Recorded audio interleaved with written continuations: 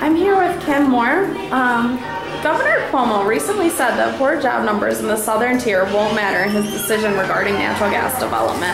How do you feel about this? And how do you feel about the governor saying your future doesn't matter? I've been very upset about um, what the governor has been uh, proposing for the taxes in New York State and bringing in um, companies to come into New York tax-free while the rest of us have been waiting for natural gas to be released.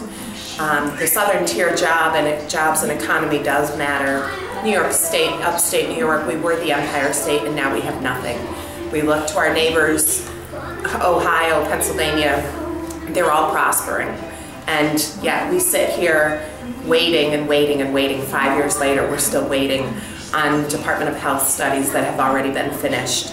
Um, it's time to get over it. The southern tier and the rest of New York, they use natural gas. We need to be using it. They're going to be exporting it now to Japan and around the world.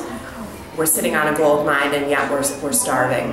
And um, I hope that the governor realizes he's killing us, literally.